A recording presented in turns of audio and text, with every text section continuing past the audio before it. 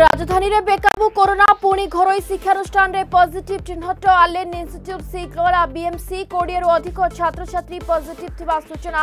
Allen ପ୍ରବେଶ ଉପରେ ଲାଗିଲା କଟକଣା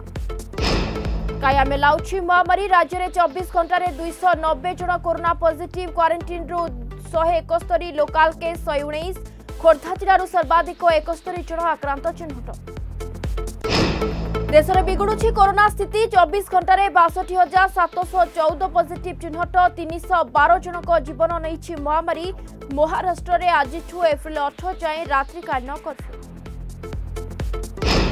প্রধানমন্ত্রী মন কি বাত ভুবনেশ্বর পুষ্পা শুক্লা কথা কহিলেন মোদি ভ্যাকসিনেসন কু নেই উৎসাহ কথা কহিলে পুষ্পা সেপটে মোদী মুহরে কেন্দ্রাপড়ার বিজয় কথা পাণির আঁরু বঞ্চাইবাকু লগাইছেন গছ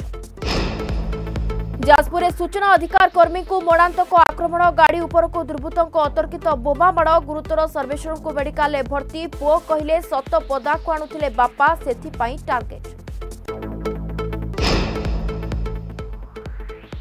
ସର୍ବେଶ୍ୱର ବେଉରାଙ୍କ ଗାଡ଼ି ଉପରକୁ ବୋମାମାଡ଼ ଘଟଣା ଟ୍ୱିଟ୍ କରି ନିନ୍ଦା କଲେ ବିରୋଧୀ ଦଳ ନେତା ପ୍ରଦୀପ୍ତ ନାୟକ ତଦନ୍ତ କରି ଦୋଷୀଙ୍କୁ ଧରିବାକୁ ଦାବି ସେପଟେ ଘଟଣାକୁ ନିନ୍ଦା କଲେ ଲେଖାଶ୍ରୀ କହିଲେ ଓଡ଼ିଶାରେ ରାଜନୈତିକ ହିଂସା ଉପରମୁହାଁ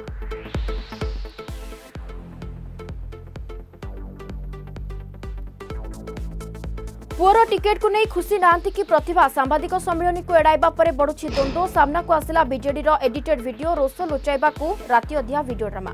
ତିନି ଦିନ ପରେ ବଢ଼ିବ ତାତି ମାର୍ଚ୍ଚ ଏକତିରିଶରୁ ଜଳିବ ଓଡ଼ିଶା ତିନିରୁ ଚାରି ଡିଗ୍ରୀ ତାପମାତ୍ରା ବୃଦ୍ଧି ପାଇବା ସମ୍ଭାବନା ଗତ ଚବିଶ ଘଣ୍ଟାରେ କିଛି ସ୍ଥାନରେ କାଳବୈଶାଖୀ ଯୋଗୁଁ ସାମାନ୍ୟ ଆଶ୍ୱସ୍ତି ଏବଂ ଆଜି ପବିତ୍ର ଦୋଳ ପୂର୍ଣ୍ଣିମା ଶ୍ରୀମନ୍ଦିରରେ ପାଳିତ ହେବ ଶ୍ରୀଜୀଉଙ୍କ ଦୋଳ ଉତ୍ସବ ରାଜାଧିରାଜ ବେଶରେ ମହାପ୍ରଭୁ ଦେବେ ଦର୍ଶନ ଭକ୍ତ ଓ ସେବାୟତଙ୍କ ସହ ଖେଳିବେ ବୋଲି